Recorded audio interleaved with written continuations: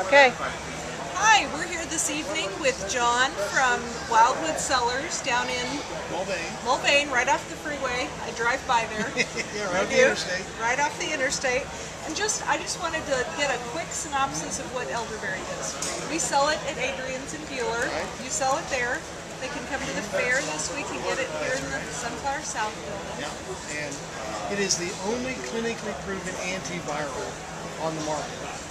It's been used in every school of medicine since Hippocrates. So, there's a good reason for why it's around. The proteins in it encapsulate a virus and keep it from invading your cell. So the virus dies off. So you don't get any viral events. Flu, colds, H1N1, West Nile, anything viral. It also contains a lot of natural antihistamines that your body can assimilate, so it helps with allergies and literally stops asthma in its tracks. It, uh, boosts the, the, the chemistry is it boosts the, the pancreas. The pancreas is your immune system. So it helps with sugar diabetes. It helps uh, keep your blood from clogging together, so you, it helps clean the arteries. It helps in a lot of different ways. So it's it's because it helps your immune system. Cool. And um, last year, I'd never tasted it. Last year, I came by your booth, and the girls wanted me to taste it. I didn't want to because I thought it'd be awful. and they just put it in a little bit of Sprite or something. It's just a juice. And, and as a juice, it's kind of fun. You know, a lot of your medicines have a lot of side effects. The only side effect of this is if you uh, drink the entire bottle, it's a really good colon cleanse. okay, I'm not going to drink the whole bottle.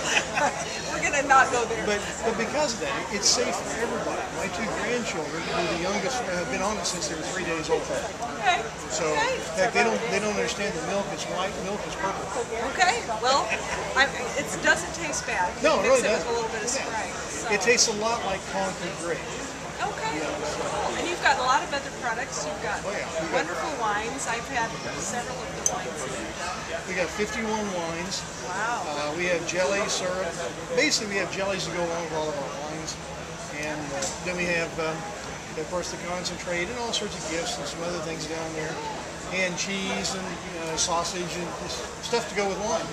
Cool. Well, stop by and see Wildwood Cellars at the Sunflower South building at the Kansas State Fair, or if you're seeing this after the fair, you can see them down in Mulvane, Exit 33 at I-35. exit 33, or you can get elderberry at Adrian's in Buhler. That's So, right. Stop by Buhler. It's a nice place to be. Thank you. Thanks for talking mm. to me. You bet. Okay.